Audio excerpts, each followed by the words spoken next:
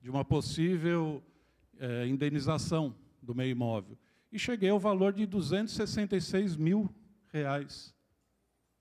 Ora, quem mora aqui, e mesmo quem não mora, quem é de Guarujá, de São Paulo, sabe que esse valor aí é irrisório para se comprar um imóvel hoje, né? muito menos casa, porque onde eu moro é uma casa. Então, isso nos preocupa. Aí eu fui procurar um imóvel nesse valor. Não encontrei. O que eu encontrei foi uma kitnet que teria que ser feita a reforma. Então, o nosso imóvel, que a gente levou tanto tempo para conquistar, né, que hoje está bem avaliado, a gente sairia de lá e não conseguiria comprar nada similar. Nada. É, hoje eu tenho um sobrado com garagem, com área coberta, fechada, duas salas, três dormitórios, copa, cozinha, todo revestido na parte da frente e na parte dos fundos. E eu receberia 266 mil reais. Então, assim, a gente torce pelo melhor, mas devemos nos preocupar com o pior. Então, queremos saber, sim, que a gente viu, inclusive, da mesa, é, é, quando resp respondeu alguns questionamentos, é, dizer que, olha, vamos fazer, então, uma alteração aqui no contrato para garantir isso, aquilo, e gostaríamos que fosse feita também nessa questão. Esperamos que não, que não se chegue a, a, a esse ponto de, da desapropriação. Mas, se chegar, gostaríamos de ter garantido um valor justo, e não daquela tabela. Então, eu quero deixar registrado aqui esse ponto que é muito importante. Né? Lembrando, sim, somos a favor da obra, mas com o menor impacto possível. Tá ok? Obrigado. Obrigado, sou Edson.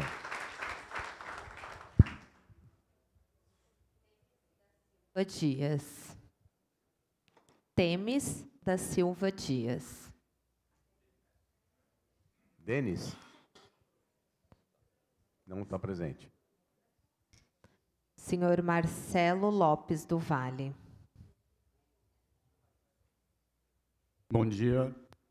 Eu sou morador de Santos, aqui no bairro do Macuco. Eu gostaria de colocar uma questão. A mesa disse que passa 4 mil caminhões por esse futuro túnel. Aqueles moradores que não serão impactados pela desapropriação terão que conviver praticamente com um caminhão por minuto passando na sua frente da sua porta. E se a pessoa um dia quiser vender o seu imóvel, quem acha que ia comprar esse imóvel passando o caminhão a um minuto por dia, por hora, por, é, um, um caminhão por minuto na frente da sua porta? Por isso que eu gostaria de vocês pensarem melhor, tá?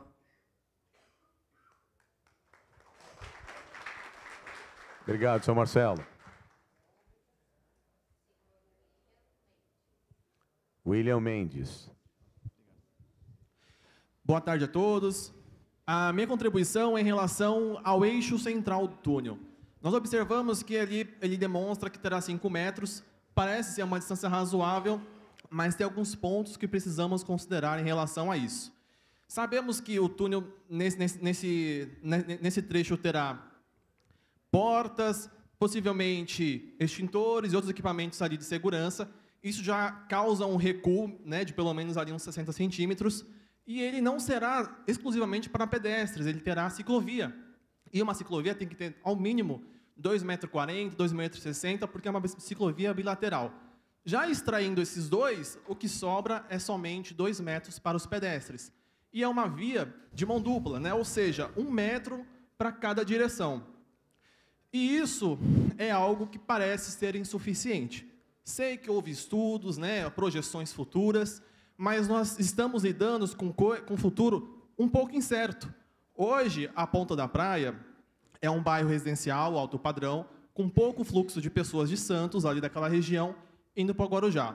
Do outro lado, onde temos a barca no centro, é uma área praticamente inabitada. Então, assim, todo o fluxo hoje é, da maioria das pessoas, Guarujá para Santos.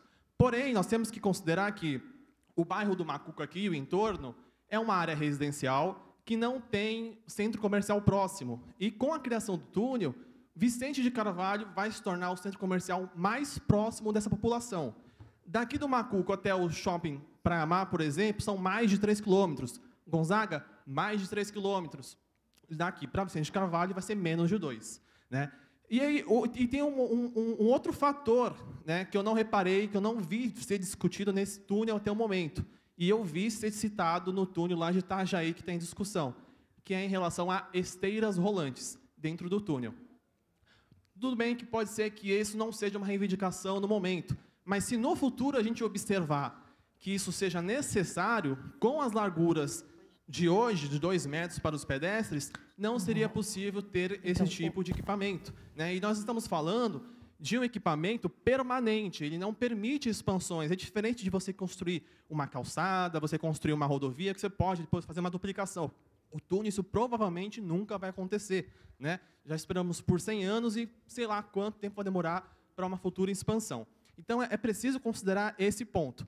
Além disso, em relação também a essas dimensões, nós temos que considerar na questão de emergências. Então, hoje nós temos, por exemplo, 2 metros para os pedestres, ali 2,60 metros para a ciclovia. Se houver ali alguma necessidade de trauma, onde você precisa fazer um pranchamento de uma pessoa, você vai ter que interditar completamente o túnel. Né? Não tem como você ficar travando as vias para fazer totalmente a remoção por fora. Você vai ter que fazer essa remoção por dentro. E no horário de pico ali do túnel, da, da travessia, isso vai causar um transtorno muito grande, onde não vai ser possível você fazer esse, esse desvio, tanto dos pedestres quanto dos ciclistas. Né? E outra, é, quando a gente fala das pessoas nas duas direções, temos que considerar que as pessoas elas têm velocidades diferentes. Então, naturalmente, vai precisar fazer ultrapassagem de próprios, dos próprios pedestres e dos próprios ciclistas.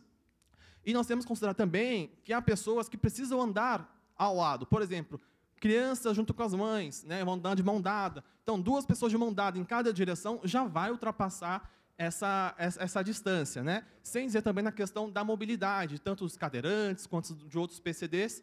Então, essa questão de pensar na esteira rolante para encurtar o trajeto, tudo bem, pode não ser necessário hoje, mas pode ser daqui 20, 30 anos. Então, a gente tem que considerar, pelo menos da mesma forma que pensamos para o VLT, que não vai estar agora, mas vai estar pronto para receber no futuro, nós temos que pensar que no futuro também precisa ter uma distância mínima para receber essa possível esteira rolante. Obrigado. Obrigado, William.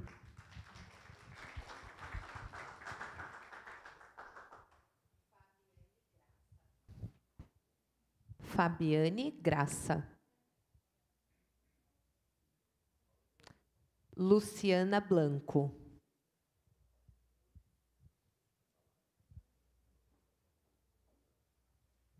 Bom dia a todos. É, cumprimento a mesa na pessoa do colega Dr. Pomini e a todos os presentes.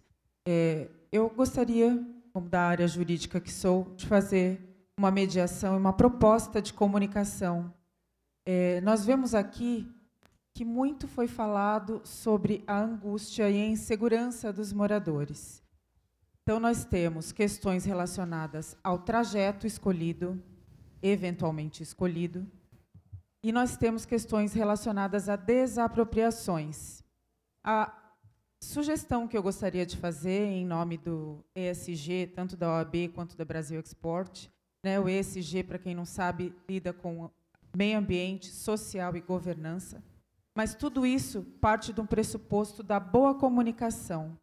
Né? E a finalidade disso, com certeza, vai gerar um benefício econômico, que é isso que o ESG propõe.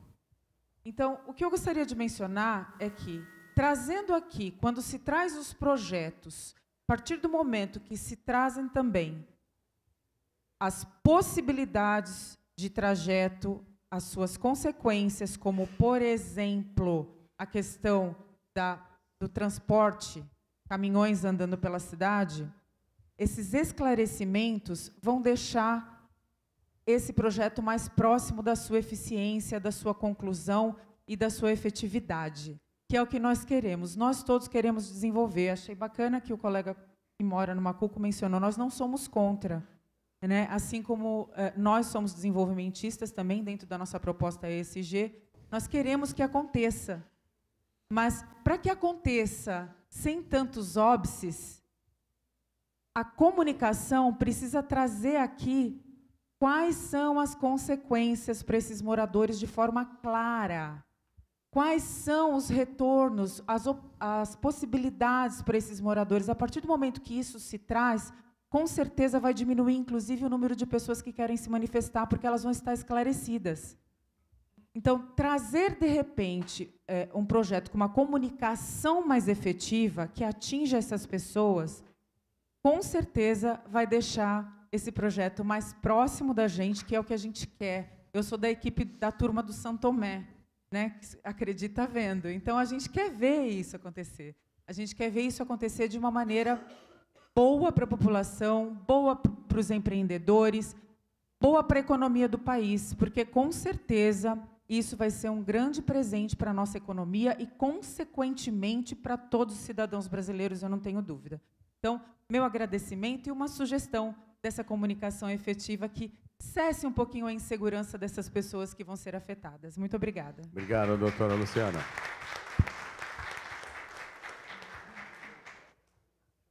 Senhor Cláudio Moleste.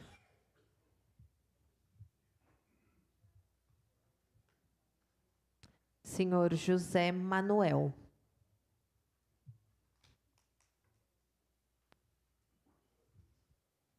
Obrigado, eu cumprimento a mesa. Senhores presentes, senhoras. Começo fazendo uma divergência, minha colega. Eu sou. O problema aqui não é de comunicação. O problema é de ausência de compromisso. De ausência de compromisso democrático. O Mini, o problema aqui não é melhorar, fazer um puxadinho comunicativo para reduzir a tensão ou a angústia. O problema é que o projeto nasce tem que nascer, quem me conhece sabe disso, tem que nascer baixo para cima.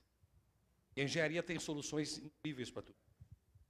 Lembrou o colega problemas de engenharia que são absolutamente razoáveis na sua fala. Podia fazer aqui uma série de perguntas para você, mas não acho o momento.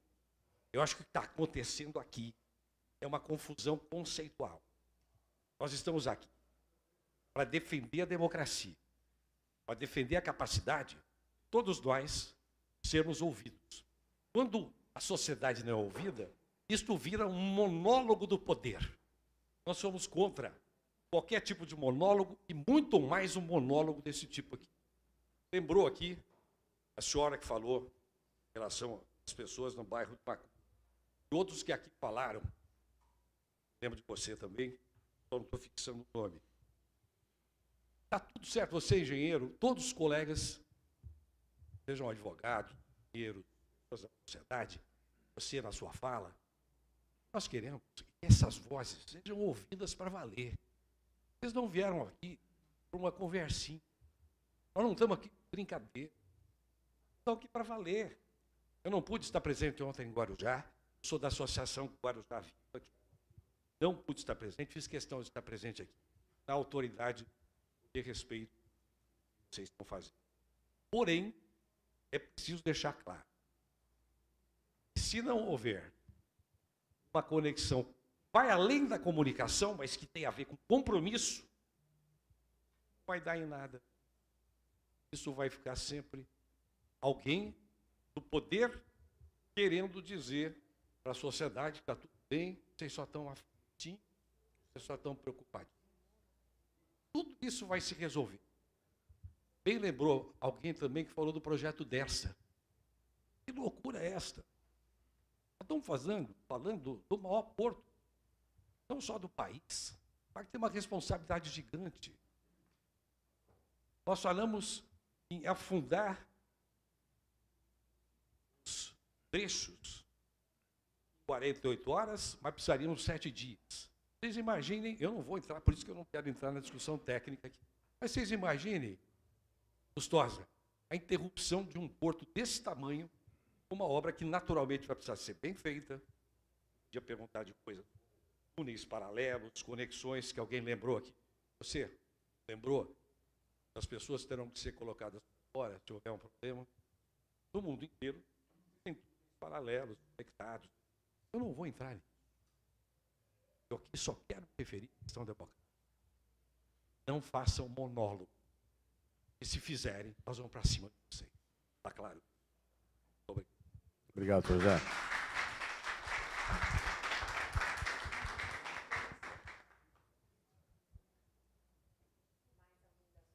Gostaria de se manifestar.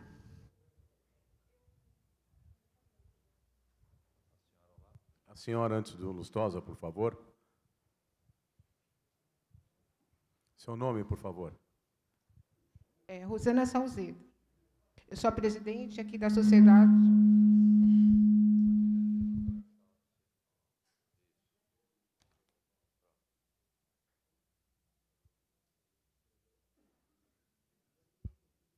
É, é, eu sou Rosana Salzedo.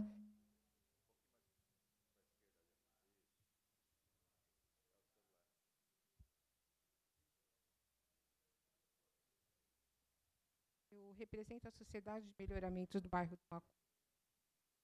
Eu agradeço a oportunidade e a presença de todos.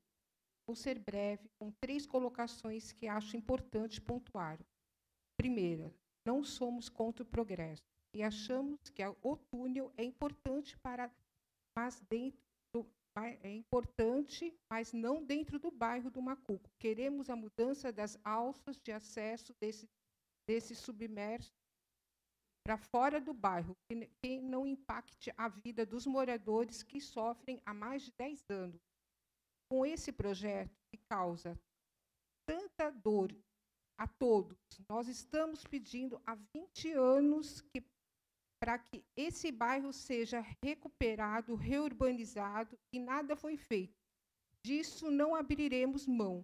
O, o que está desenhado é que esse traçado desse túnel vai desapropriar dezenas de familiares e comércios. E isso realmente for inevitável. Que se digni- dignidade e respeito a moradores honestos, trabalhadores que sofrem em todo esse terror de décadas, que se garanta o direito de moradores escolham as suas propriedades similares próximo ao bairro, que vivem justo, que, que vivem e trabalham por décadas. Não será justo pagar valores de IPTU numa área onde o metro quadrado não tem valor de compa comparado aos bairros vizinhos. Terceiro, não se garanta o direito aos que ficarem na área do, de impacto do túnel.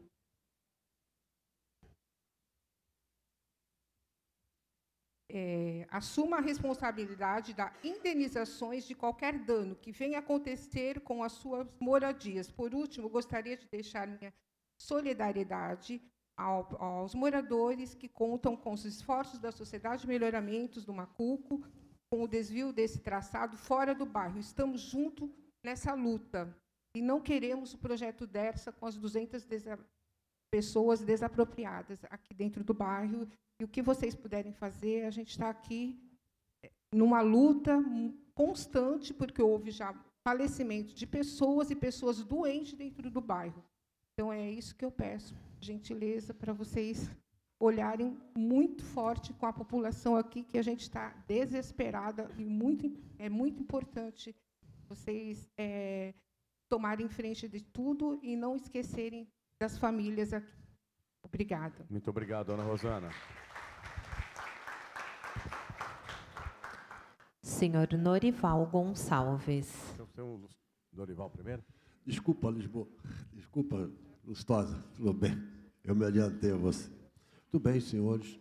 Muito bom dia a todos. Eu sou o Norival Gonçalves e na última reunião eu já me manifestei. Tudo bem, Martins? Tudo jóia? É, pela minha idade aqui, 78 anos, já passei por várias. Então, a minha formação em engenheiro mecânico, engenheiro de segurança, dou aula na universidade, algumas pessoas aqui me conhecem, o Zé Manuel, o Álvaro, muito bem, o Martins. Ou seja, trabalho nessa área desde 1967, como corpo de bombeiros. Fui tenente, de tenente a coronel, nessa área. Enfrentei todas as situações de emergência aqui. Então, logo na primeira reunião aqui em Santos, solicitei que verificassem no impacto de vizinhança, colocasse o bombeiro, colocasse o material. Hoje nós vamos falar da obra em si, né, depois de pronta. Eu solicito que a operação de emergência seja do corpo de bombeiro, não para uma empresa privada. Por quê? Eles vão buscar os melhores resultados, estão estudando. Porque, vou dar um exemplo aos senhores. Quando construção da imigrante, no, logo na primeira pista, foi construído por, por, uma, por um sistema, as colunas foram construídas por cachimbo. E o que acontecia no meio da serra? Quando os, os, os coitados dos trabalhadores perdiam a luz ou perdiam um cabo naquele cachimbo, quem chamava o corpo de bombeiro? O que, que tinha que acontecer lá no meio da mata? Usar os meios de fortuna. Que são meios de fortuna? Os meios que tinham ali no local, não com ferramentas especializadas e atualizadas. Por isso que eu estou licitando essa situação, que exatamente na operação seja do corpo de bombeiros, não por uma empresa privada. Ok? E que os ouçam para que eles possam melhorar nos seus estudos e nas suas avançados. Muito obrigado. Obrigado, coronel.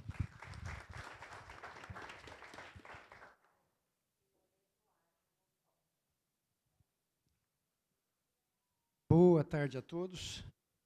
Saudações à mesa e finalizando as, as audiências com muita competência. Raquelzinha ali já, já arrumou seis convites de emprego. E, mas eu quero fazer um, uma fala aqui, é diferente do, do meu amigo e irmão ali, o Coronel Norival, e aqui o Zé Manuel, é, no aspecto de que a, e até o Santaella também, né? A, a, engenharia no entorno dos, dos túneis imersos, ela tem evoluído ano a ano, né? Uma coisa fantástica. Em relação ao concreto, os trincas, momento de torção, é uma obra muito seguro e, o, e todo esse projeto está mantido da DERSA, né, ele está sendo mantido por conveniência. Né? Nós fizemos aqui mais de 30, 40 reuniões para tratar desse assunto na comissão. Estou falando agora como presidente de honra da comissão, nomeado aqui carinhosamente pelo Pomini.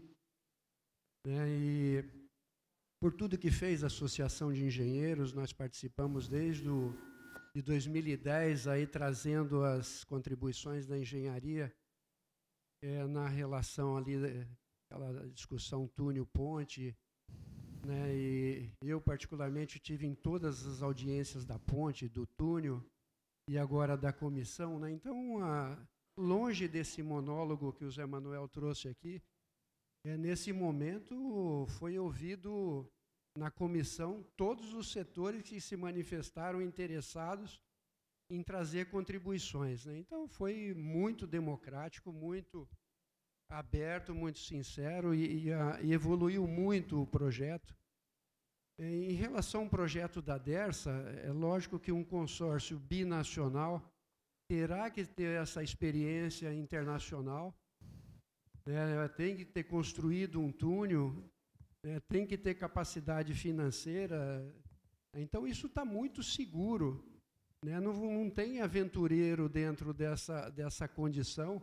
A flexibilidade, né, se teve vantajosidade em manter o projeto da DERSA, evidentemente é, tem toda a abertura para o consórcio binacional fazer aprimoramento daquilo que já é bom.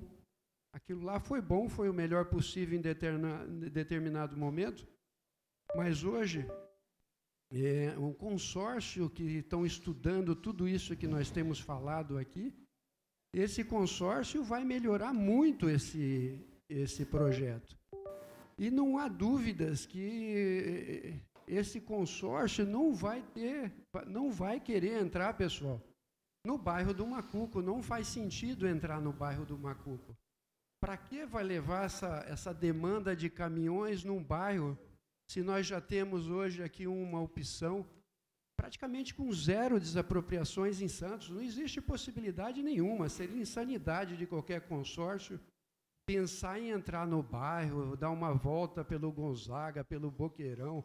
Não faz sentido nenhum. Eles estão aqui para aprimorar e não agravar, não comprometer aquilo em determinado momento foi enxergado como excelente, como muito bom, melhor para aquela naquela posição. Então, é, eu não quero ser otimista, não, estou aqui querendo ser realista. Porque o projeto que foi desenvolvido aqui com a participação da Prefeitura de Santos, do Guarujá, entidades portuárias de todos os segmentos, é, turma da engenharia de todos os segmentos foram ouvidas aqui, presencial, né, virtual. Então está muito maduro esse, esse projeto, não tem brincadeirinha né, dentro dessa coisa. É, o, e o consórcio vai vir para aprimorar tudo isso ainda que nós estamos fazendo. O, existem 134 túneis imersos pelo mundo. Os primeiros, teve acidentes nos primeiros túneis imersos, principalmente em regiões frias, né, com acidentes, eh, saturação com monóxido de dióxido de carbono. Isso tudo aconteceu uma, duas vezes lá 100 anos atrás. Tem 100 anos isso. Então, estudo de trinca, isso já não existe mais. É, nós somos, o mundo está especializado nesse super concreto né, que está sendo aplicado. Né? E, então, é, eu quero ser muito otimista, encerrando, presidente Persoli. É, eu quero fazer menção aqui a, a, ao movimento Voo de Túnel, que agregou 134 logomarcas em apoio a esse movimento. Né, foi investido né, em informar a população do que eh, da necessidade do túnel, dos estudos. 134 logomarcas foram aplicadas. É, eu estou proibido de falar em quem incentivou mais tudo, mas foi a BTP. A BTP fez um, um trabalho sensacional, pediu né, sigilo, não quero aparecer, não quero colocar o nome, estou vazando aqui porque eles merecem. Né, fizemos eh, dezenas, centenas de reuniões, mídias para esclarecimento da população. Então estamos num momento ímpar eh, e ainda politicamente o governo do estado, o governo federal, a autoridade portuária. Em 2010 o, o governador Alckmin ele é, assumiu saindo da, da, da, Fiesp lá no começo do ano, Persoli. É, na entrevista, governador e a nossa ponte. E o, governa, e o nosso atual vice-presidente disse: não, não vai ser ponte, vai ser túnel. E as discussões serão na Associação de Engenheiros e Arquitetos de Santos. Porque nós encaramos, a engenharia encarou uma ponte inadequada, inconveniente, queria obstaculizar o principal porto da América Latina. Né, então, nós estamos aqui unidos para fazer o melhor possível.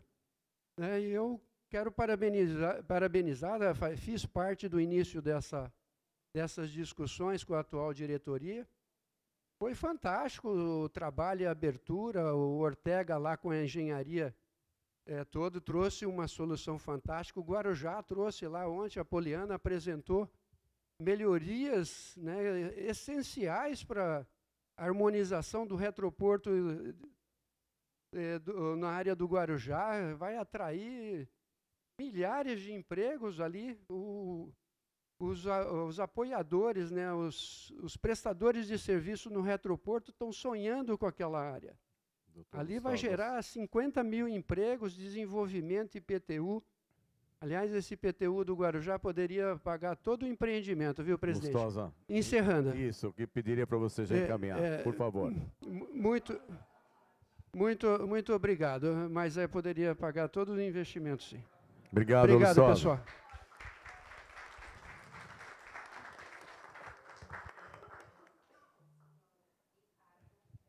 Taz. Seu Ricardo. Boa tarde a todos. Queria cumprimentar a mesa em nome da doutora Gabriela Costa, Amanda Seabra, Raquel e demais autoridades na mesa, todos os presentes. Eu falo aqui em nome do SOPESP, Sindicato dos Operadores Portuários do Estado de São Paulo. É, parte importante nesse movimento todo da construção, no, no cronograma, e tudo que vai se passar ao longo dos próximos quatro anos para que essa obra se complete. Dizer que desde o início, o Sindicato de Operadores e os operadores portuários apoiaram sempre, desde o início das discussões. Essa discussão remonta a quase um século, né? mas desde o início das discussões, a necessidade de uma ligação seca sempre apoiou dentro do início, continua apoiando hoje eh, a, a, essa obra tão importante para a nossa região. Mas gostaríamos de fazer alguns, eh, a, algumas observações. Porto de Santos movimentou no ano passado 174 milhões de toneladas. Ele vem nos últimos dois, três anos em um crescimento constante, ano após ano. Se nós aplicarmos um percentual de crescimento de 5%, nós atingiremos em 2030 aquilo que estava previsto atingir em 2040, né, no plano que hoje existe dentro da autoridade portuária, de 240 milhões de toneladas. Nós chegaríamos a 2030 a 245 milhões de toneladas. E aí, é isso para dizer a, a, da nossa preocupação. Primeiro, sem dúvida alguma, preocupação do, do, da, da, interrupção do canal né, no momento da obra. Isso eu acho que vai ter que ser discutido muito de perto né, entre a autoridade portuária, a empresa de construção, é, e os operadores portuários, porque a gente vai interromper grande parte do Porto de Santos. Né? As outras questões são as outras obras que o Porto de Santos hoje necessite, não só o Porto de Santos, Porto de Santos, governo de Estado, as prefeituras que são relacionadas à terceira via de ligação Planalto-Baixada. Né? A gente tem a questão das perimetrais tão importantes. A discussão da perimetral do Guarujá vem desde 2013, e até hoje nós não conseguimos tirar do papel. Né? A, a perimetral da, do lado do, do, do, da margem direita do Porto de Santos, as obras de, de, de, de arte, que são a transposição das passagens de nível das ferrovias, tanto na margem direita quanto na margem esquerda. Então, são obras que os operadores gostariam de ver a mesma prioridade que se está dando à construção do túnel para que nós possamos aí sim ter um sistema logístico né, de carga, porque aqui fala em nome dos operadores, mas que também permita né, a mobilidade social que hoje já está tão prejudicada. Muito obrigado. Obrigado, Ricardo.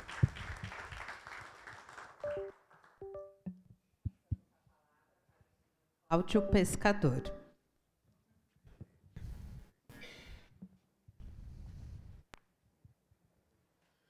Bom dia a todos. É, queria falar, Cláudio Pescador e empreendedor. E brigando há 20 anos num projeto que é tão simples, muito mais fácil.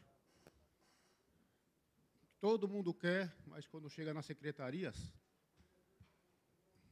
torce a, a conversa. Para ter uma assinatura do pessoal positivo, é complicado. A negociação vai para outro lado a negociação vai para vai interesses pessoais dele. Do meu ponto de vista, eu vejo isso aí, que é onde eu estou trabalhando, correndo atrás de um projeto de mais uma linha aqui daqui da, do Macuco para Vicente Carvalho, onde é a prainha, ao lado da, da Santos Brasil. Mais uma linha aqui, com certeza ia desenvolver muito mais rápido a situação para pedestre, ou até para quem tem veículo que queira uma acessibilidade, vai pegar o, o túnel, ou, ou ou ali a, a balsa, ou aqui a catraia, a acessibilidade seria para todos, economizaria até o tempo e o dinheiro. Costuma, o, projeto é de navegação, colocar um flutuante do lado do Vicente Carvalho, ao lado ali da Sons Brasil, que é bem no centro entre as duas travessias, da balsa e daqui da, da catraia, esse intermediário fica bem no meio, e mais uma liberação aqui né, provavelmente, do meu ponto de vista, seria ao lado do Concais, ali, uma área perto do Concais, já que eu tenho, eu tenho autorização para usar a bacia do Macuco, ó, é, o certidão do, do solo. Já há anos a Prefeitura de Santos cedeu. Mas não posso usar porque a Capitania dos Portos tem uma legislação que não pode usar ao lado da, de é, essas áreas operacional deles. E desse ponto de vista, eu pensando comigo, ao lado do Concais, já que vai ser desativado, eu deixasse um, um espaço para colocar um flutuante do lado de cá, região do Macuco, e eu estar lá. Já tenho todas as autorizações. E o problema aqui, eu encontrei aqui nessa, nessa estatal aqui, onde começou a dar o, o, o, o problema BO, maior. O BO maior foi aqui. Onde todo mundo quer, mas aqui a autoridade para tratar com isso, o negócio não, não, desenvolveu do jeito que deveria ser. Do jeito que eles pediram que a capitania dos, dos portos autorizasse, a capitania dos portos autorizou do lado de lá, mas do lado de cá tem umas restrições. E estou aguardando ver se aparece a autoridade, que no, o Márcio França, quando, ela, quando ele era ministro da Portos e Aeroportos, ele já me, quando ele era deputado, já me fez um favor. É, eu pedi, ele chegou em mim e pediu, ô, Claudio, se você precisar de você, se você precisar de alguma autorização, fazer uma ponte, pode contar comigo. Eu precisei, rapidinho, em 15 dias chegou a autorização da, é, da ANTAC. Em 15 dias veio. Aqui, que nem aqui, quando eu contactei a prefeitura de, de, de Santos, em 15 dias veio autorização também. Lá em Guarujá, onde deveria ser mais interesse, e onde deu os problemas também, lá na, diretamente da prefeitura, que é interesse pessoal dos, dos governantes, dos prefeitos, interesse pessoal deles. Por isso que até agora parou também, mas dá para cá já tem autorização lá da. Desde a época que a Antonieta era prefeita, veio a autorização da, da Secretaria do Desenvolvimento, lá na, é, do Guarujá. E agora o problema, o BO está aqui. Aqui eu não estava. Teve uma última reunião que tive aqui no Purão aqui dessa, da presidência, onde aconteceu um negócio pior. Que era para ser mais fácil, eu pensando que ia ser o que eu, já que pediram o documento, foi aprovado pela Capitania dos Portos. Mas agora estou. Nem sei o que fazer mais. 20 anos trabalhando nesse projeto. 20 anos. E obrigado a todos. Tá? Obrigado, eu, senhor Cláudio. Eu, eu prefiro contar com o apoio também dos investimentos. Alguém que queira investir. No seu projeto. Estou precisando, porque os que, os que eu queria, os que eu queria não que quiseram se propor investir comigo nesse projeto, até desistiram, por causa de uma vez que é propina. Tudo é mais de propina. Quando chega na secretaria, tudo é mais de propina. Aí o problema é isso aí que está acontecendo. Tá bom. Muito obrigado, viu, senhor Cláudio? Eu que agradeço, eu agradeço.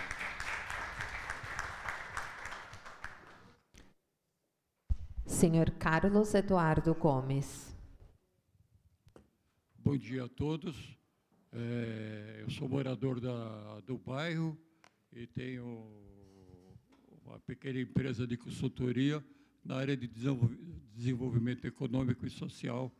Eu desenvolvi toda a minha carreira profissional nessa área no governo federal. É, e eu fiquei com a sensação, participei das três audiências, eu fiquei com a sensação de que a tendência é haver o menor é, número de desapropriações. A gente já não se sente seguro por causa de experiências an anteriores né, da, da, nossa vida no Brasil. Mas a impressão que me passa é que há uma, um esforço e uma boa vontade de ter o um mínimo de desapropriação, isso eu espero que aconteça. Agora, o bairro, né, é, eu sou morador do bairro há 50 anos, ele não tem infraestrutura, e isso não está contemplado no projeto, de suportar o tráfego pesado para chegar nos acessos ao submerso. Né? Então, isso vai causar é, é, um grande prejuízo para esses imóveis, que as pessoas estão aqui, as construções são desde 1920, 1930. Né? E, para finalizar, é, eu estou falando em memória de Leonor Maria de Jesus Gomes, a minha mãe, que desde que saiu a notícia do túnel, ela durou muito pouco tempo. Até ali ela era saudável, trabalhava cinco dias por semana em várias atividades voluntárias e desde isso é, foi decaindo. Né? Todo mundo ficou autorado, vários vizinhos também partiram antes. Tá? Muito obrigado.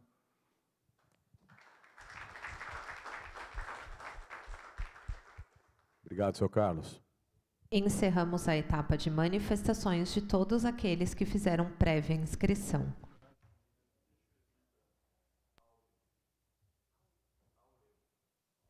Seu Áureo. Pode ser, seu Áureo, por favor.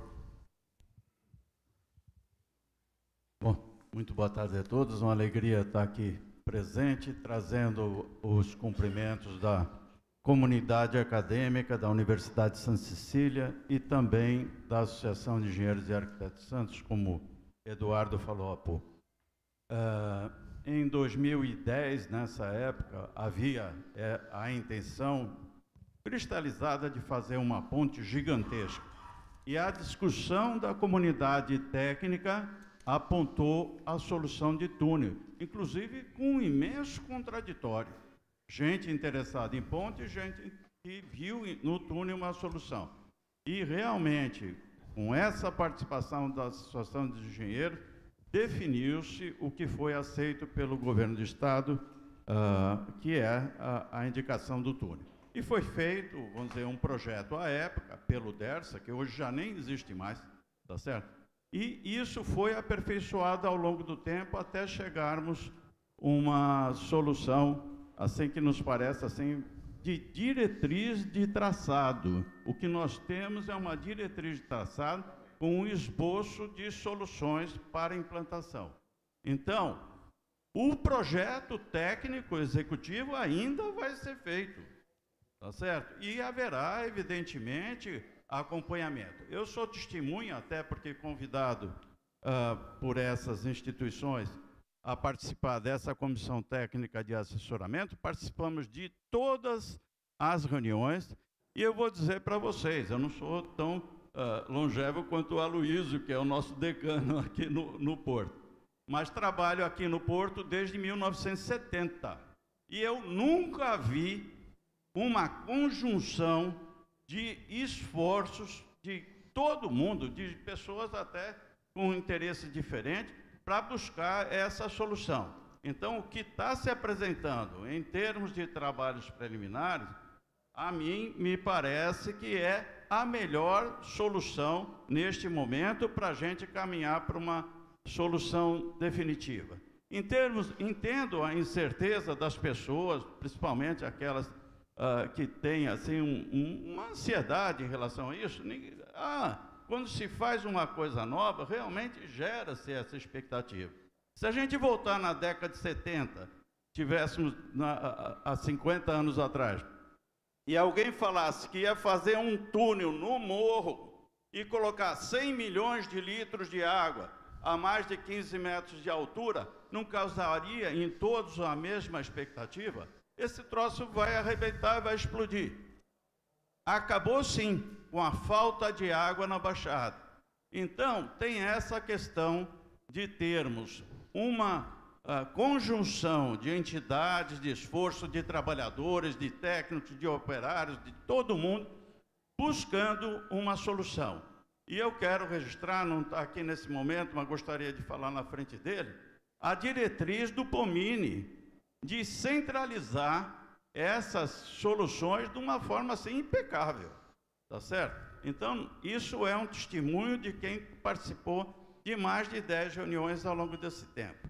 Então, gente, eu acredito e, e, compreendo aí essa expectativa de quem não tem assim uma proximidade com as coisas leigas. Falou-se até no São Tomé.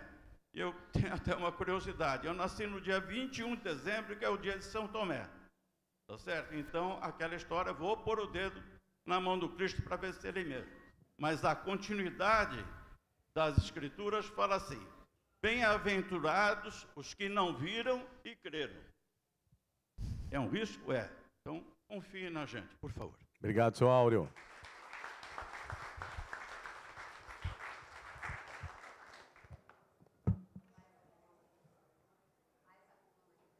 Mais alguém? Porque acho que o microfone não está. Mais alguém presente que queria uma, trazer alguma contribuição? Eu acho que já podemos então pedir para a Raquel já dar a devolutiva do, do que foi trazido por todos vocês.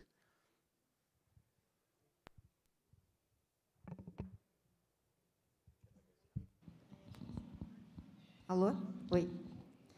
É, obrigada pelas contribuições. É, vou seguir aqui pelo é, Dr. Marcos, que pediu para a gente enviar todas as comunicações também para a Câmara de Santos e do Guarujá. É, a gente fornece aí os contatos, a gente tem telefone, e-mail também. Pode mandar mensagem que a gente responde, manda os estudos. É, sobre o cronograma de interrupções né, e como isso afeta as pessoas durante a obra, a gente conversou com a doutora Flávia do Ministério Público, isso é uma preocupação que surgiu principalmente aí baseado nas obras do VLT, e a gente entende que tem que sanar isso. Né? Então, é, toda a parte de sinalização, é, fechamento de ruas, quando a gente começar as obras efetivamente, isso vai ser tratado com as prefeituras, especificamente com a CT. É, além disso, vale lembrar que, por ser uma PPP, a gente vai ter tanto a certificação do novo projeto, né, então o novo projeto vai ser certificado para ser implantado, como vai ter uma empresa que ela vai ser contratada pelo poder público para acompanhar todas as obras. Então, toda parte, é, enquanto tiver ali a execução das obras, as pessoas vão ter esse canal aberto. A gente prevê também no contrato um sistema que chama Cisdemanda, que ele deixa o canal aberto para a Artesp receber solicitações da população em caso de algum problema com o andamento de obras ou até durante a operação no decorrer do contrato. É, um dos pontos trazidos também por ele foi a questão da segurança. Né? Então, a gente tem conversas com a Polícia Militar Rodoviária sobre isso e a necessidade da gente implantar aí é, postos da polícia no início e no final, né, tanto do lado do Santos quanto do lado do Guarujá, para que a gente é, aumente a segurança. Além disso, todas as câmeras do túnel, elas fazem leitura de placa e todas essas informações vão ser fornecidas para a polícia para que seja é, reforçada a segurança na região. O senhor Abel trouxe sobre a localização no centro de Santos, né, a gente mudar aí o eixo do túnel é, mais para cima no estuário. É, é um fato complicado porque a gente já tem muitos estudos que apontam essa sendo a melhor localização. Além disso, a gente tem um estudo, o um maior estudo de sondagem já feitos em estudos desse nível para a gente entender toda a parte de solos, onde tem rocha, onde a gente vai cruzar o túnel ali no estuário. Então, é, conforme o Lustosa trouxe, foi um projeto é feito por muitas mãos, então é um projeto executivo e, e essa parte do túnel imerso ele está muito bem pensado. É, também trouxe sobre o VLT, né? Então o VLT a gente tem a previsão do VLT, a gente vai ter lá a estação na Praça 14 Bis no Guarujá. É um dos pedidos da prefeitura do Guarujá ontem foi que tenha uma estação no aeroporto também que a gente vai analisar. É, o senhor Aloísio trouxe o limite da profundidade do porto. Né? Então, sobre o calado de C15, é, tem planos de C17, hoje a gente prevê 21.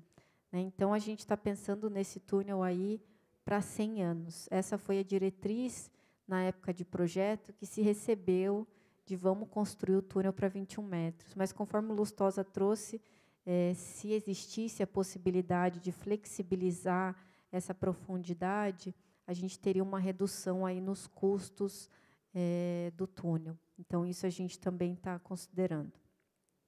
Sobre o plano logístico portuário, eu acho que o pessoal do Porto vai conseguir trazer mais informações, então deixo essa resposta para eles. É, a doutora Alcione, do Macuco, é, obrigada pelas contribuições. É, a gente está elaborando o EIA-RIMA ainda, ele não foi concluído, mas eu me comprometo a vir aqui no Macuco, inclusive, se quiserem me mostrar o bairro hoje, eu tô, eu tô disponível, tá? É, então a gente tem esse compromisso de manter o, o diálogo com vocês aberto. Né? Então assim que eu tiver os estudos mais avançados, eu também me comprometo aí a fazer uma reunião e mostrar para vocês tudo que a gente tem até o momento. Né? Então, ele está andando um pouco paralelo aí a parte ambiental da parte da PPP, mas eu entendo a ansiedade dos moradores, é um sonho de todo mundo conquistar a casa própria, né? Então, é, é difícil a gente não ter um plano bem feito para o futuro e como é que a gente vai vai agir depois disso. Então, é um, um pedido do secretário para que a gente dê é, total atenção tanto para o pessoal do Guarujá quanto para o pessoal de Santos. Então, eu me comprometo aqui, se vocês quiserem me mostrar o bairro hoje, pós-audiência, eu estou disponível. Eu preciso almoçar, porque eu estou com um pouquinho de fome, mas depois disso a gente pode conversar. É, o Gilmar trouxe o projeto, né, sem desapropriação, passando pelo centro da cidade. Tem uma dificuldade grande da gente mudar o, o ponto de travessia do canal, exatamente por essas, esses pontos que eu trouxe, de ser um local conhecido, já bem estudado. Né? Então, é, se a gente mudar o ponto de travessia, é, um novo projeto vai ter que ser pensado, né? Então o cronograma aí já já vai mais para frente e, e a ideia é que esse túnel saia, né? A gente está com o objetivo de que precisa acontecer. A gente não, não pode continuar nas promessas e realizando mudanças intermináveis e esse projeto continuar sendo jogado mais para frente. É, a Fabiana trouxe sobre o VLT e reuniões com a MTU. Né? Então, a gente está pensando na parte de engenharia de preparar o túnel para a passagem do VLT. Né? Mas o projeto da, do VLT em si, ele é tocado por uma secretaria diferente da nossa. A gente é, também pode marcar uma reunião com eles para deixar isso acertado, mas o importante é que tudo que a gente vai exigir do concessionário do túnel esteja no contrato bem amarrado, inclusive essa, essa parte do VLT. É, o James trouxe sobre a frota defasada, né? então a gente ter é, os, os, caminhões ali com os veículos, os caminhões que não são muitos novos, é, que, que trafegam aqui pela região. É, é uma preocupação, então a gente sempre tenta estudar as diferenças de velocidade entre os veículos. A gente sabe aí que diferenças maiores do que 15 km por hora aumentam a gravidade dos acidentes, né? Então, é, a tendência ele vai ser um túnel curto. É uma obra muito grande, mas a gente vai passar por ele em dois minutos. Então, é um túnel curto que não tem essa liberdade é, de caminhões de grande porte, de ficarem entrando. Então, a gente até está conversando sobre possíveis restrições ou é, motivações que a gente pode mexer ali. Então, por exemplo, em vez a gente pedagiar por eixo, que é o que é feito nas rodovias, né, a gente montar duas categorias de pedagiamento. Então, caminhões de pequeno porte e caminhões de grande porte. Né? E nesses caminhões de grande porte, a gente fazer uma tarifa que seja não atrativa para a utilização do túnel, para que eles continuem utilizando a rodovia. Né? Então, a gente está estudando isso e como o modelo vai responder, né? porque a gente fez pesquisas com os caminhoneiros, com os, os veículos leves, sobre propensão de pagar, pagamento de pedágio. Né? Então, assim, é, quanto que você está apto a pagar para utilizar dessa infraestrutura? Né? Então, a gente tem isso também no radar aí para adaptar e tentar diminuir esse impacto é, dos caminhões no túnel também. A gente já colocou que é proibida a passagem de caminhões de produtos perigosos, né? então, pela, pela dificuldade, pelos acidentes que eles podem causar. É, sobre a doca seca, né, então a gente não fixa hoje um local da doca seca.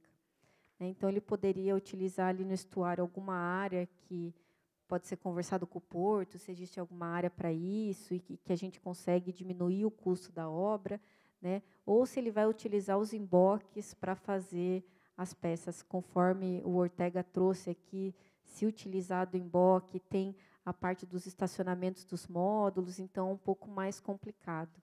Né? Mas eu acho que nesse momento, como a gente tem o apoio da autoridade portuária e o Estado juntos, a gente consegue uma solução melhor do que foi pensado no passado, né, que, que tinha uma restrição aí de comunicação, eu acho que entre os entes também.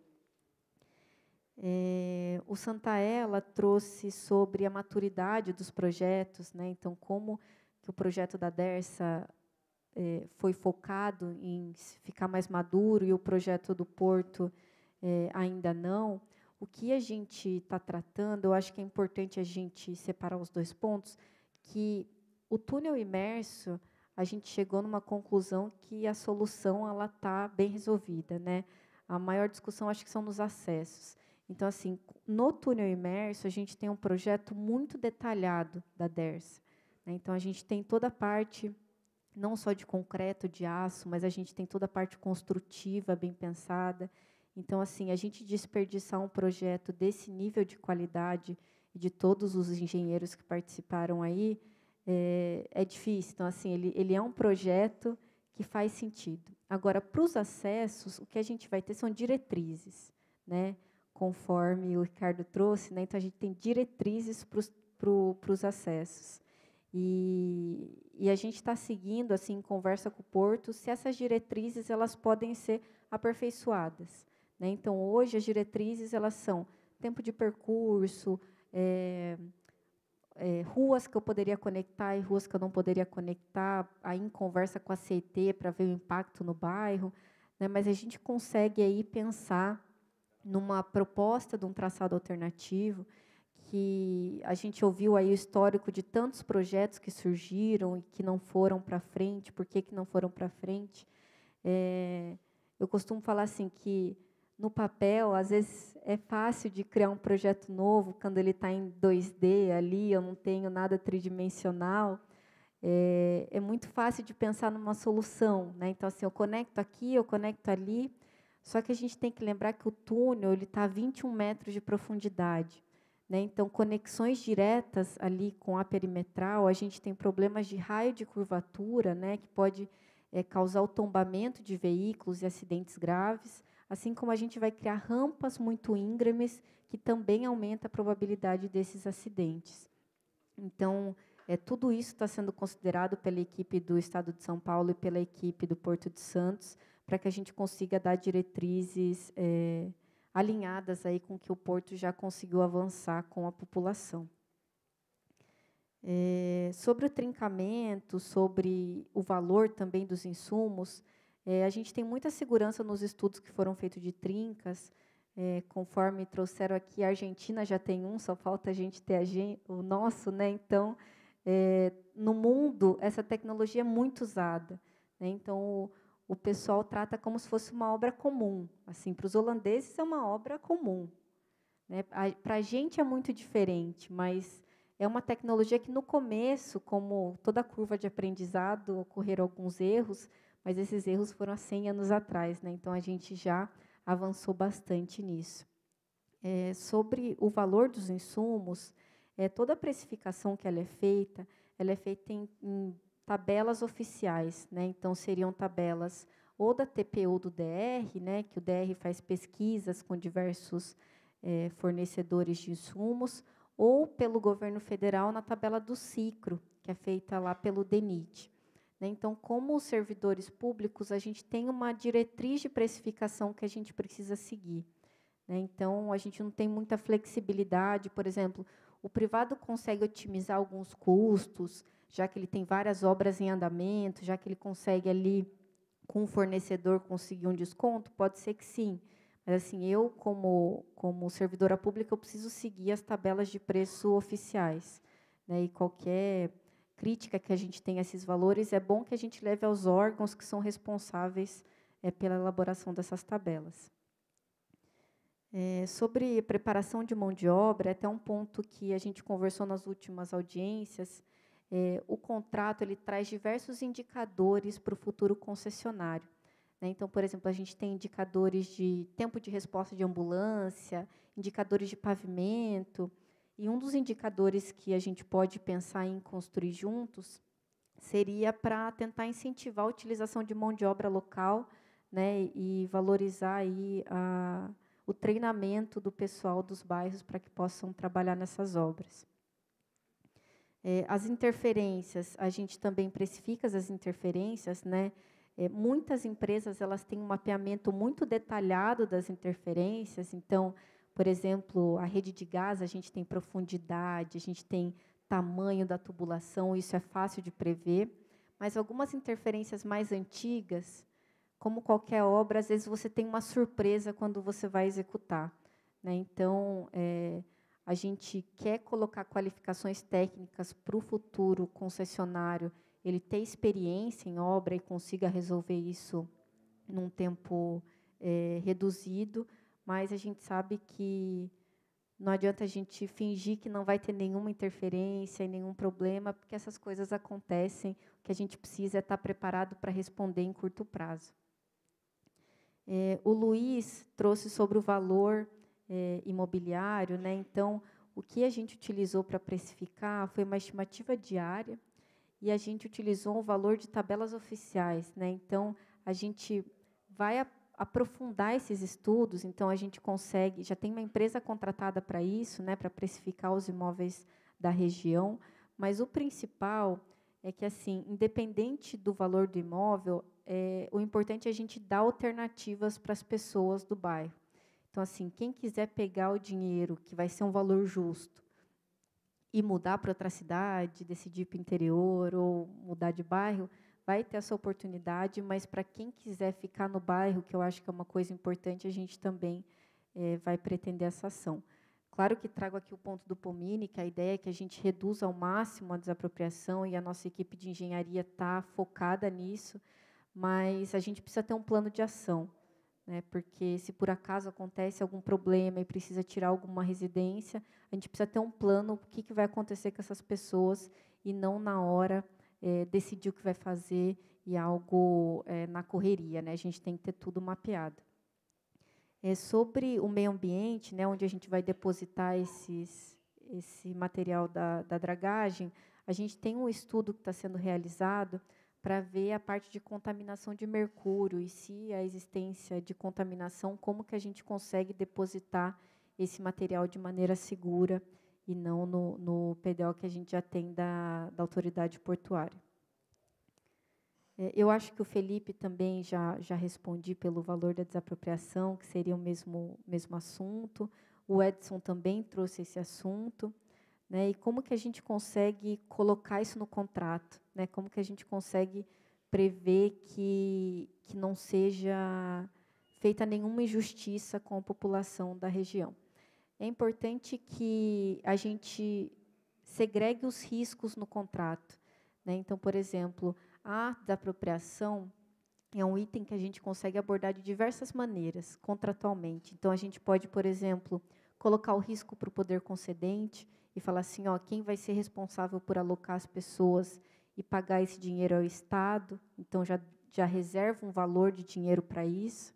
Ou a gente pode é, deixar o risco para o privado, conforme é, o Lustosa trouxe aqui também, é, a tendência é que o privado não queira entrar no, no bairro, assim, é, é muito caro para eles realizar isso. Então a gente sabe que no fundo a empresa privada ela está vendo o valor de tudo. Então a gente sabe que isso é um ponto que eles enxergam também. É, sobre a existência de caminhões né, no bairro, que o Marcelo também trouxe, é importante falar que a gente está fazendo um estudo específico disso para ver como que a gente consegue é, adotar ali parâmetros que não deixe o fluxo de caminhões impedir é, o modo de vida das pessoas naquele bairro, né? Então, é, eu acho que é sobre isso. O William trouxe sobre a, a, o tamanho, o tamanho das da galeria de pedestres, né, e como que a gente poderia pensar em, em esteiras, em atendimentos. Então, é, hoje, esse, quando a gente fala assim em precificação de túneis imersos, é muito mais caro eu aumentar a altura do que aumentar a largura. Né? Então, a largura não é um impacto o, a, não é um impacto muito grande assim quando a gente compara com outras alterações de geometria. Né? Mas eu acho que é importante a gente avaliar quais seriam os impactos disso e ver como que a gente consegue colocar isso também no estudo. Tá? Eu peço que você coloque essa contribuição também pelo link da, da consulta para que a gente responda também especificamente. Tá bom? É... A Luciana trouxe sobre a comunicação? Então, Luciana, também posso deixar um cartão com você, a gente está aberta a continuar falando. É, assim como a gente conversa aqui, todo mundo da mesa, é importante que a gente consiga é, conversar com vocês também. É, sobre o José Manuel trouxe sobre o monólogo, né, que não seja um monólogo e que a gente consiga conversar. Eu acho que isso está longe de acontecer e a gente já demonstrou isso desde o início. E qualquer questões de engenharia podem trazer também, a gente está apto a responder. Eu não quis esconder nenhum ponto técnico, trouxe uma apresentação maior do que do que me pediram para trazer, então a gente também pode discutir pontos técnicos, não tem problema nenhum com isso. É, a Rosana trouxe também sobre a importância do projeto, né, sobre dar dignidade às pessoas ali do bairro e sobre a área de impacto. Então, eu acho que a gente também está tá prestando atenção muito a isso.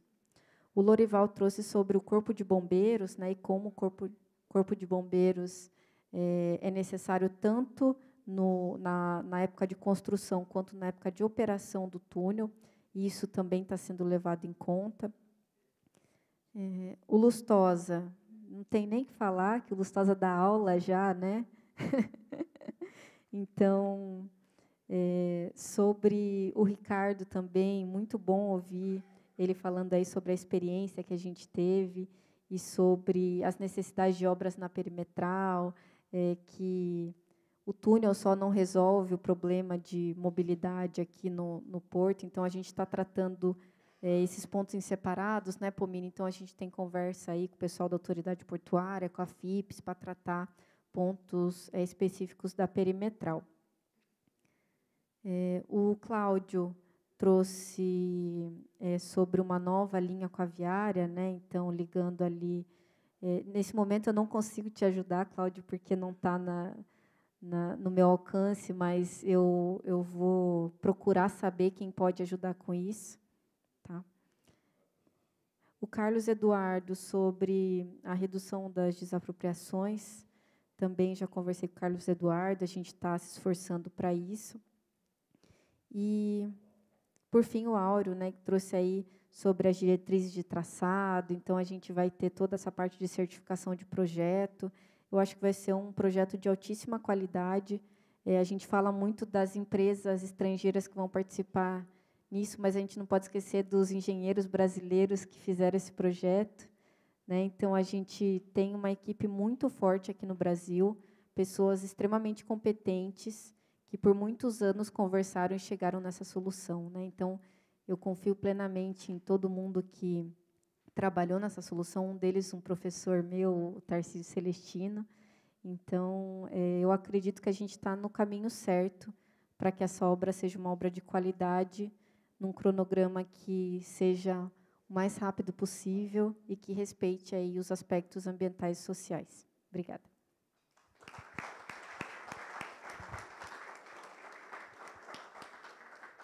Obrigada, Raquel. Acho que não, não temos mais nenhuma contribuição, e aí eu vou já. Por favor, Reginaldo. Eu só queria corrigir uma falta. É, eu levei um puxão de orelha aqui do professor Adilson, quando eu disse na minha apresentação que a, a expectativa que a gente tem da, da evolução das retroáreas portuárias ah, eu falei do Guarujá e acabei não citando a área continental de Santos, que também tem um potencial imenso, tem área aprovada no legislativo para que seja implementado. Então, queria corrigir essa falta e, e agradecer a, a participação. Obrigado. Eu acho que a gente já pode começar já para o encaminhamento final do, dos componentes da mesa. Vou pedir inicialmente para a doutora Almanda Seabra trazer essas manifestações finais. Obrigada, Milton.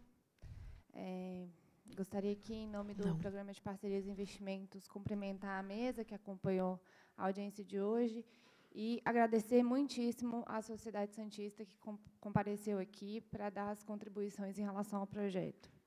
É, só falando bem brevemente, o, o, Programa de Parcerias e Investimentos, que é o órgão que eu trabalho na Casa Civil do, da Presidência da República, nós qualificamos projetos que têm investimentos de, parceria, de parceiros privados na infraestrutura. Né?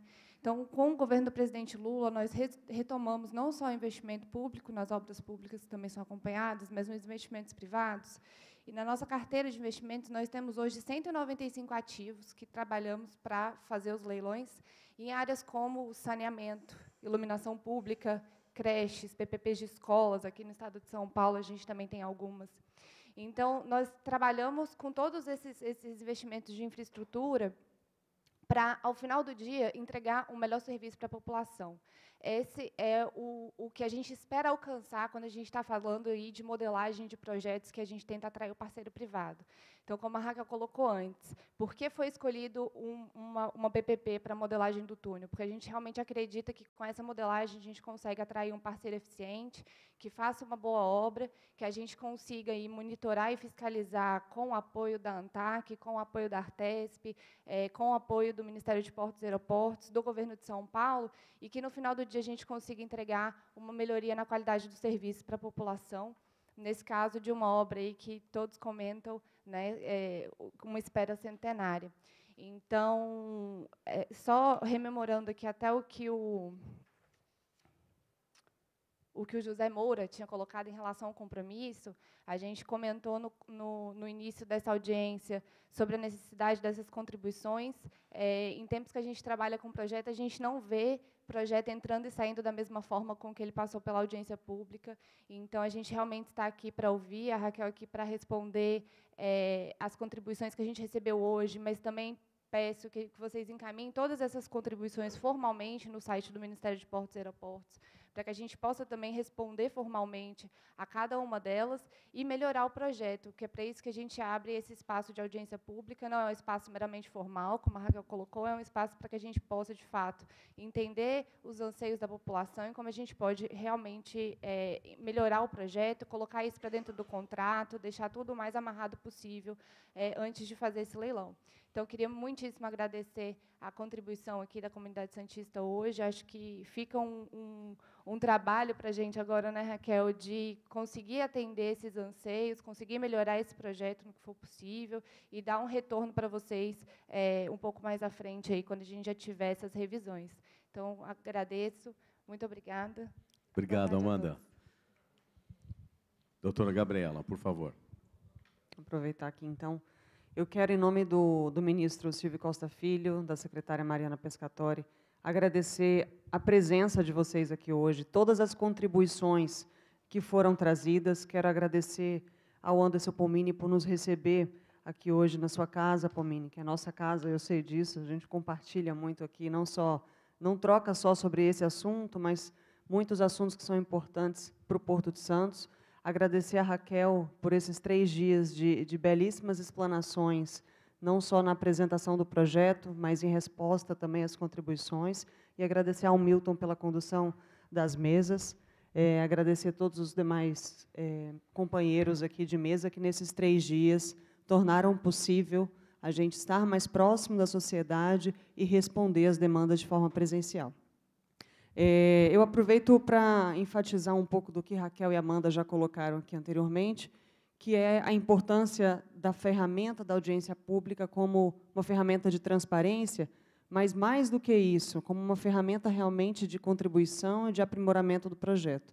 Amanda colocou muito bem, com toda a experiência que ela tem, que um projeto muito dificilmente sai da mesma forma depois de uma consulta pública, depois de uma audiência pública justamente porque essa etapa não é pro forma. Né? A gente não está aqui para cumprir mais uma etapa, a gente está aqui para realmente trazer contribuições que possam aprimorar o nosso projeto e que esse projeto possa, no final, atender a todos da melhor maneira possível. Ontem a gente ouviu uma das contribuições que foi muito pertinente, e agora, no, no intervalo, o Newton Souza me fez a mesma mesmo questionamento, que é por que agora a gente deve acreditar que o túnel vai sair de fato, já que a gente tem uma, uma espera quase centenária com relação a esse assunto. Eu não acompanhei as discussões anteriormente, então eu posso falar do nosso momento aqui hoje. Né? A gente tem uma união de vontades muito significativa. A gente tem um desafio enorme, como eu disse no começo, é a maior travessia do mundo em termos de volume. A gente está no maior porto do, do hemisfério sul, é a maior obra do PAC, é um projeto totalmente inédito no Brasil. A gente sabe que existem, como o Lustosa bem colocou, mais de 100 projetos como esse mundo afora, mas no Brasil é uma obra inédita. E ter hoje sentados aqui na mesa, governo federal, governo do Estado de São Paulo, as agências reguladoras, autoridade portuária, Casa Civil, não é apenas para mostrar para vocês, né, para cumprir uma etapa de forma pro forma. Não, a gente está aqui hoje porque realmente existe um engajamento entre essas entidades aqui, que é o que torna possível um projeto desafiante como esse seguir adiante. E, por fim, seguindo a orientação, como a Raquel já bem colocou em vários momentos aqui, seguindo a orientação do ministro de Portos e Aeroportos, do governador de São Paulo, a gente tem uma grande preocupação em impactar da menor maneira possível a vida das pessoas. A gente quer que realmente essa obra ela seja muito bem-vinda, muito bem vista por toda a comunidade, por toda a população e que ela possa realmente atender positivamente a todos. Então, muito obrigada pela presença de vocês aqui hoje. Obrigado, doutora Gabriela. Doutor Albert, por favor. Só agradecer a participação de todos nesses três dias de audiência pública. Recebemos as contribuições, discutimos alguns pontos de um projeto, muito bem colocado aqui, que é um conceitual que a gente tem. O modelo é um modelo de PPP, em que o provável ganhador, futuro ganhador, ele vai ter a liberdade de discutir e ir, sim, a fundo no projeto executivo. Do nosso ponto de vista aqui, da Agência Nacional de Transporte Aquaviário, o nosso viés é olhar exatamente a relação onde a autoridade portuária aqui de Santos vai fazer um aporte desses recursos, e a gente está aqui justamente para poder apoiar esse projeto, porque a gente sabe da importância de um projeto numa relação porto-cidade. E a gente acredita muito nisso, na relação porto-cidade. Se você vai para fora, hoje, todas as cidades têm orgulho de ter um porto. A comunidade portuária é a própria população. E todos eles têm um orgulho. E vocês têm aqui uma joia, que é o Porto de Santos. Então, de novo, meu muito obrigado aí a todos. Obrigado, doutor Albert. Eu pediria para o doutor Eduardo Neri, nosso presidente, essas considerações finais. Obrigado mais uma vez pela tua presença. Bom, bom dia a todos aqui. Obrigado, é uma satisfação muito grande estar participando dessa audiência pública, como já dito por todos. É, e, mais uma vez, acho que é sempre importante né, louvar a iniciativa do governo do federal e do governo do estado no primeiro momento, né, de como a nossa Gabriela Costa aqui disse, de unir os esforços e, e realmente é, mobilizar, é, dando um, um, um, tom de prioridade é, que todos aqui estão percebendo. Né? Tivemos aqui um próprio, um dos manifestantes mesmo, da sua PESP, chegou e disse, olha, eu quero essa mesma prioridade que seja conferida para os outros projetos aqui que são importantes, que são necessários. Então, seja, eu, eu também, assim como a Gabriela, acho que não participei das outras discussões, mas essa eu posso dar o testemunho também que a prioridade é total dos dois governos, do federal e do Estado, né? federal aqui representado pela, pelo Ministério, pela PPI, e o Estado pelo governo do Estado, e as agências reguladoras, né? cada uma com as suas competências. A Artesp, do lado do governo estadual, e nós aqui da ANTAC, como o diretor Albert já falou, que vem coordenando, juntamente com o nosso superintendente aqui, o José Renato, todo, é, tudo aquilo que vai impactar nas operações portuárias e que pode é, ensejar algum tipo de distúrbio, né, pra, seja para operadores portuários, empresas de navegação, na parte terrestre igualmente, os direitos dos, dos usuários sejam preservados, tudo aquilo que o porto, que o projeto pode impactar é, na operação portuária, no funcionamento do porto. E como o doutor Albert também falou, isso é também é, melhoria da relação porto-cidade na veia, algo que a agência também vem cada vez mais se esmerado em procurar contribuir para que haja essa melhoria. Senhores, e concluindo, né, eu acho que isso é uma preocupação também de todos, num projeto dessa magnitude, importância, a cota de sacrifício tem que ser igual para todos, né? Então a gente sabe que tem que ter, para isso, o começo, a fase do planejamento tem que ser muito bem azeitada, que é o que está se fazendo agora, discutindo o projeto. A audiência pública é valiosíssima também, aqui é um mantra que a gente sempre diz e realmente é uma realidade. Toda audiência pública ela serve para isso, para ser, para ajustar na calibragem e para que aqueles que estejam trabalhando no projeto possam identificar as dores, as dores de vocês, que são quem vão ser os beneficiários, os usuários, quem vão se é, usufruir do projeto. Então, assim, isso é importantíssimo, sem dúvida nenhuma, cada uma dessas contribuições que depois são necessárias serem formalizadas, elas vão ser, é, com certeza, é, analisadas a fundo e vão ser incorporadas naquilo que for cabível e naquilo que não for, vão ser apresentadas as devidas justificativas. No mais, parabenizar também aqui o nosso anfitrião, o presidente da Portos, é, da, da, Autoridade Portuária de Santos também, Anderson Pomini, que também está nessa empreitada junto com o ANTAC de buscar aquilo que vai ser, que vai levar a causar menor impacto e que vai é, dentro dessa cota de sacrifício que cada um vai ter que fazer. Vai ter o, meio, o começo, que já foi dito, o meio, que vai ser a execução da obra, que também vai importar sacrifícios, mas que precisam ser mitigados e que não possam ser além do que, do que o benefício do projeto vai trazer, e é, o final, que é uma obra pre, é, pronta é, e com a qualidade e atendendo às expectativas de todos aqui presentes e to de toda a sociedade de modo geral. Muito obrigado, boa tarde. Obrigado, doutor Nery. Reginaldo, seu, suas considerações finais, por favor. Obrigado, Milton. É, eu não me canso de, de, agradecer a oportunidade de participar da, dessas audiências, desse processo todo. É, é inegável a importância dessas audiências para, para o êxito do, do projeto. E queria reafirmar ao presidente Pomini a disponibilidade da, da engenharia da APS para continuar trabalhando até que, o, que esse túnel esteja pronto e funcionando. Obrigado. Obrigado, Reginaldo. Doutor Pomini. Excelente. Três dias é, absolutamente frutíferos, é, diversas boas sugestões, colaborações e um saldo final. Todos queremos a obra. Este é o saldo das 200 participações que tivemos. Claro que com as preocupações da sociedade, com as informações da boa engenharia, mas é, principalmente com o apoio das instituições, todas aqui articuladas, e da sociedade, que efetivamente é, registrou nesta boa oportunidade, que nós chamamos de licença social, ao lado das licenças ambientais, das autorizações técnicas, hoje não se realiza uma obra desta importância sem o cumprimento da chamada licença social. E nós é, fechamos aqui com chave de ouro essa terceira audiência, na sede da autoridade portuária, que é, certamente ficará para a história. Eu vou propor, inclusive, presidente, é, ao final, uma foto de todos aqui, pegando o pessoal exatamente, para que a gente, daqui a 100 anos, talvez os nossos netos, né? Ou bisnetos, o Lustosa estará por aqui, não tem a menor dúvida. Tal.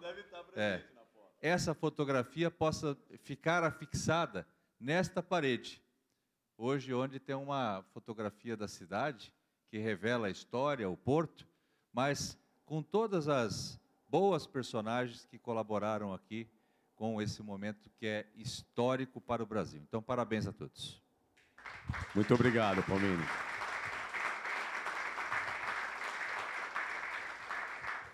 Eu também queria agradecer a todos os presentes, né, a forma respeitosa com que vocês nos trataram, né, a forma como foram trazidas as contribuições. Contribuições técnicas por engenheiros, técnicos, por pessoas que são moradores, por pessoas que são da comunidade. Nós não trouxemos aqui nenhuma diferença de posição por ser engenheiro, por ser arquiteto, por ser especialista. Muito pelo contrário. Nós valorizamos e, e, e a audiência pública fez esse trabalho. Não, a gente considera como executado essa parte da audiência pública. Mas por parte, eu vou falar me atrever a falar em nome de todos nós da mesa aqui, exatamente que foi um momento muito gratificante essa informação, essa troca de informação. O pessoal que é morador de lá, esse fantasma da desapropriação, né? isso é um fantasma na vida de todos nós. Nós acordamos todo dia com esse problema. Vai ser hoje, não vai ser hoje? Você, será amanhã? Não será amanhã? Minha casa vai? Não, sua casa vai? Sua casa foi? Enfim, podem ter absoluta certeza que essa sensibilidade que está tendo pela condução do projeto, vai chegar até vocês. Né? Serão tratados com uma forma sensata, serão tratados com uma forma justa, honesta. Nós já passamos por situações, todos nós já temos experiências né, profissionais que já tivemos esse, esse, esse, esse embate com, com o pessoal que mora, o morador de lá.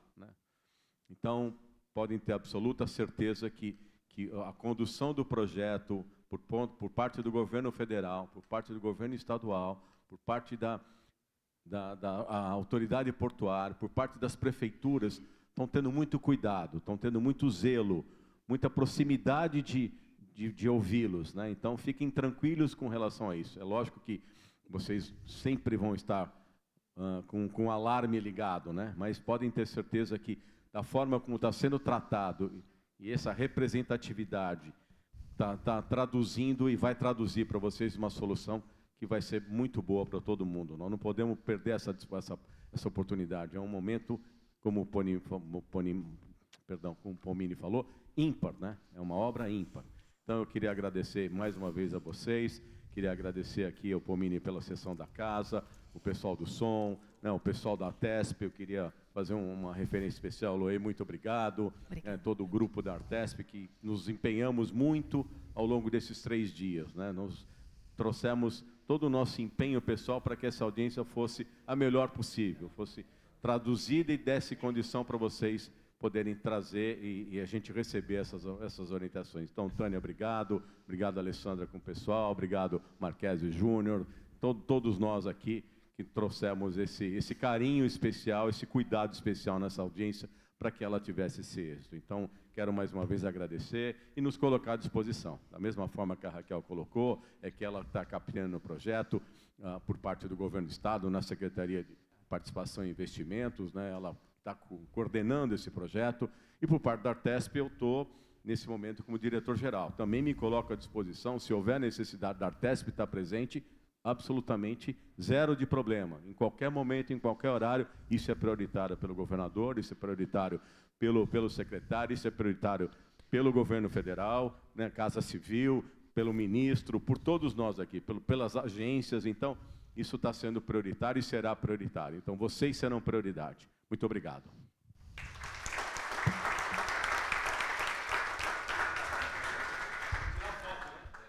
Vamos tirar foto. Acho que todo mundo em pé.